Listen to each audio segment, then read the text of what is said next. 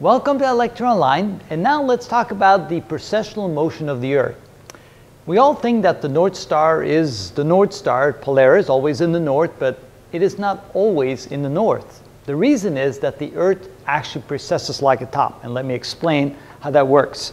So the Earth spins on its axis once every 24 hours, and of course, I need a little oil on that one, but because of that rotational motion and the gravitational pull of the sun and the gravitational pull of the moon, the Earth tends to wobble. That's a very, very slow wobble. And most of us that played as a kid with a top before, whenever you make something spin really fast, it tends to rotate like that. As it's spinning really fast, it tends to slowly rotate like that, which is a precessional motion. And the Earth is just like a spinning top. It does exactly the same thing. So even though today, as we look in the northern direction towards the north celestial pole, we'll see Polaris, the North Star. And if you're lost in the woods or in the forest or in the desert, and it's clear at night, you can actually find your way, find where north is by finding the Polaris, by finding the North Star. But in the future, a thousand, two thousand, three thousand years from now, that will no longer be the case. So what I've drawn, what, what I've drawn up here is the result of where the, whoop, the north pole of the Earth will point to over time.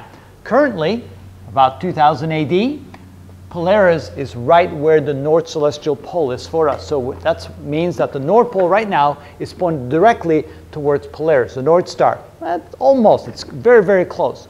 But as time goes by, you'll see that the, the Earth's North Pole will slowly point in a different direction and more than 8000 AD, so let's see here, this is about, um, yeah, about 8000 years from now, when, when it's about 10,000 AD, we'll be pointing directly at Deneb. That'll be about 2,000 years later than this location right there.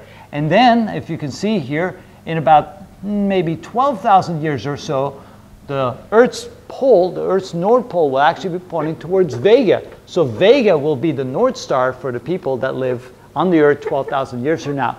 Eventually, it will come all the way back around, and Polaris will be back at the North Celestial Pole. So what happens is, so right now you can think about the Earth being pointing directly to Polaris, but over time it will precess and come back to Polaris, and it'll just keep doing that over and over. Question is, how long does it take to make one precessional motion like that, one rotation?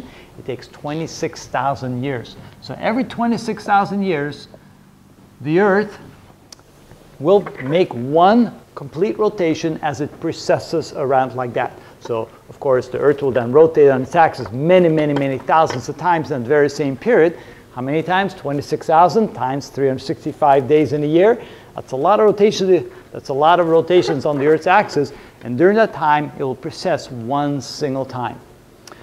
It turns out that actually will have a lot of effect on the climate. And in some later videos, I will show you why that is a very important motion and why there's so much dependent upon that precessional motion. Not just the fact that Today, Polaris is the North Star, and about 13,000 years from now, it will be Vega, and about 10,000 years from now, it will be Deneb, and given enough time, Polaris will become our North Star again. That's not the only thing.